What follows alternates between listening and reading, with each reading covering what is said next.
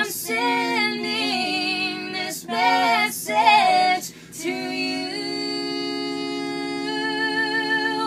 A pathway of teardrops will show you the way. If you ever want to come back to me.